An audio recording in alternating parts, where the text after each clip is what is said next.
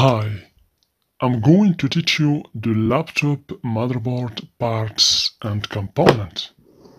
Okay, so we're gonna see many motherboards in order to go deeper into understanding the laptop motherboard parts and components. So the first part is the processor, as you can see. Here, this is the screw that we can use to open or close the processor. As you can see, this is the open side and here close side. You can just turn this screw to open the processor. So this is the processor.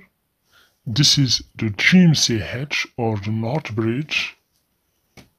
Here we have the graphic card. This is NVIDIA graphic card as you can see. This is the ICH or the South Bridge. Okay. Here we have the Super I.O. This is a big Super I.O. Here we have the RAM or random access memory. You can remove it easily, as you can see, and then put it back. Okay. So there is many types of random access memory. There is a DDR1, DDR2, 3, 4, etc. And for every RAM has a specific working voltage. For example, for this kind of RAM, 1.8 volt. This is a DDR2 RAM. Okay. With 1.8 volt working principle. Of course, for other RAMs, for example, DDR1 is 2.5 volt, DDR2 1.8 volt, DDR3 1.5 volt, DDR4 1.2 volt and DDR5 1.1 volt. Okay.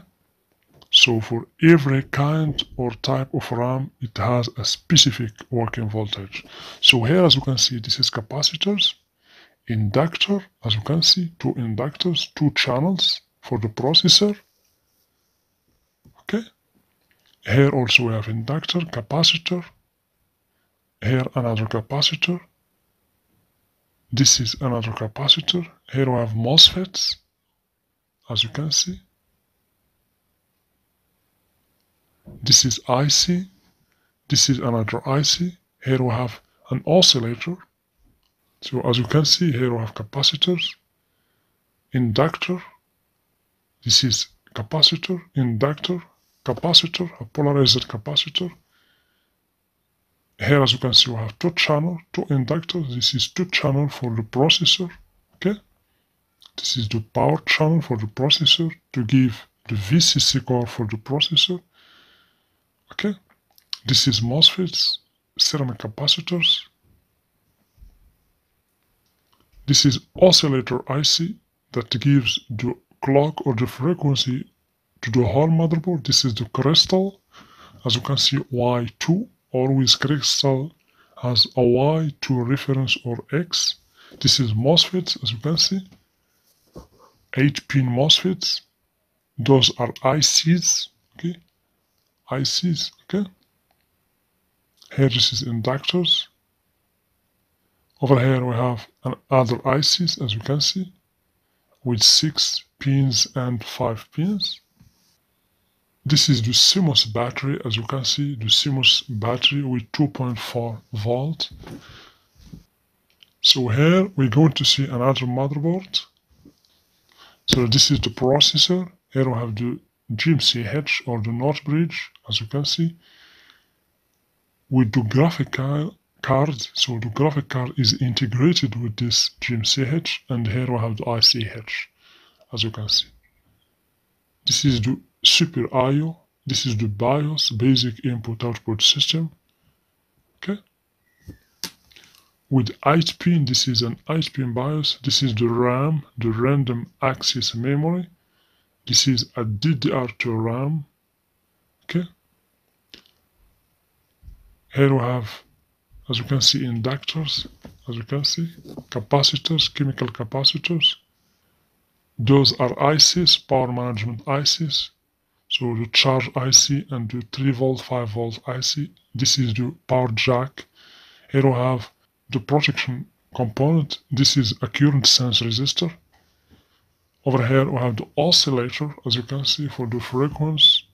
this is the crystal as you can see for the crystal you can find its reference x or y so for this crystal we have x as you can see x2 so this IC is the audio controller IC that controls the audio okay?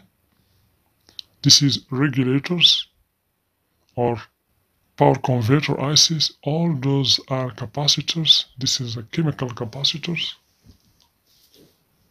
So here we have ceramic capacitors as you can see.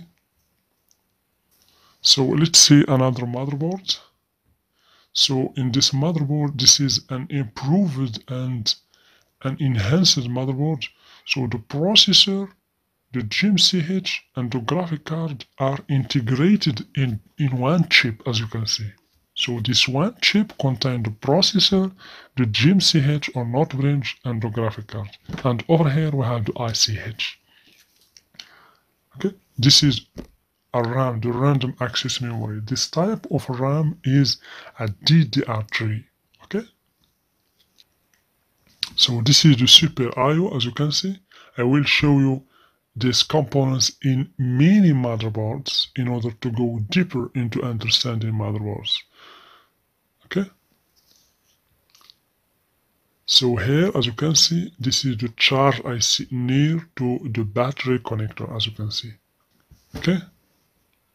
Here, this is the power jack connector, as you can see. Here, this is the power jack connected to the cable, as you can see. Here we have two red wires, hold 19 volt and two black wires for the ground. So this is the processor as you can see. Here we have two channel or two inductor. As you can see, two inductor.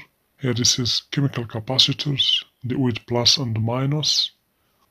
So this is a CMOS battery socket, a 3 volt CMOS battery.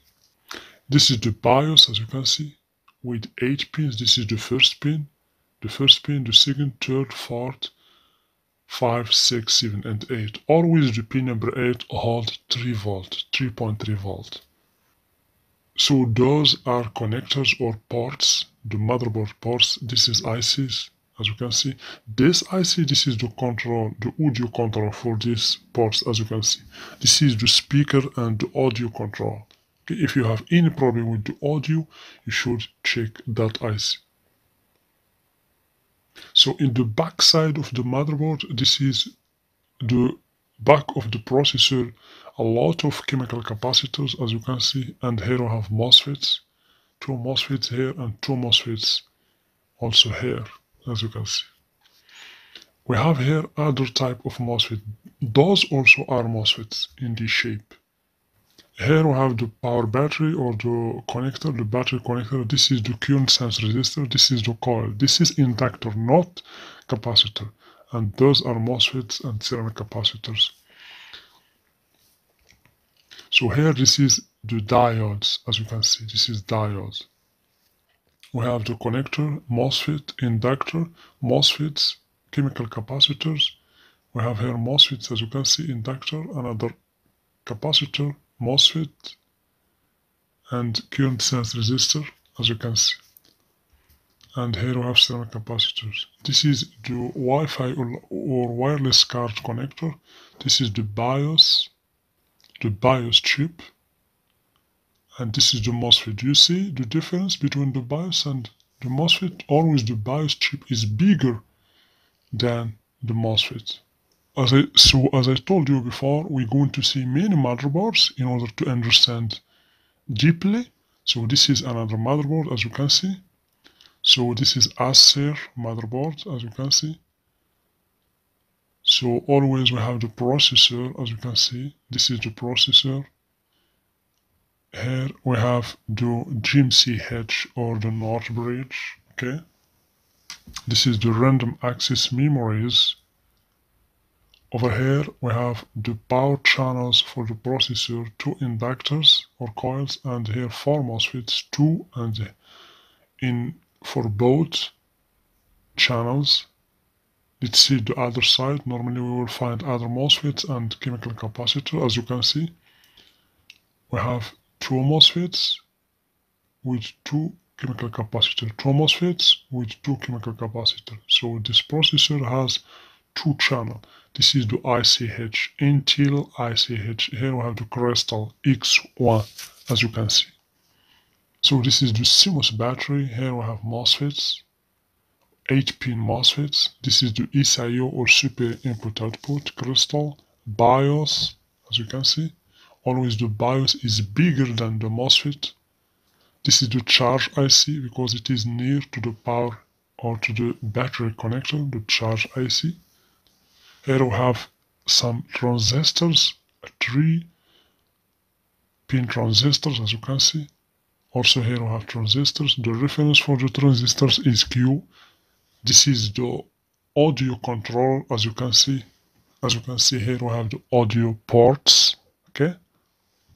If you have any problem with the audio ports or audio in general, you should check this IC. Maybe the IC is bad.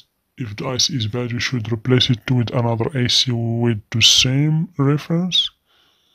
Here as you can see, this is the power jack. Here the power jack connector, two red wires and two black wires. This is MOSFETs or switches.